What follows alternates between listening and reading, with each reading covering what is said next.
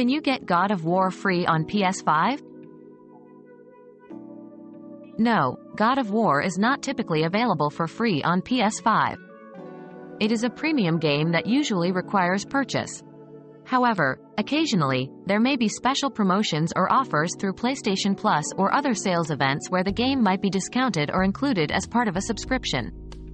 Keep an eye on the PlayStation Store and official PlayStation announcements for potential deals or free game offerings.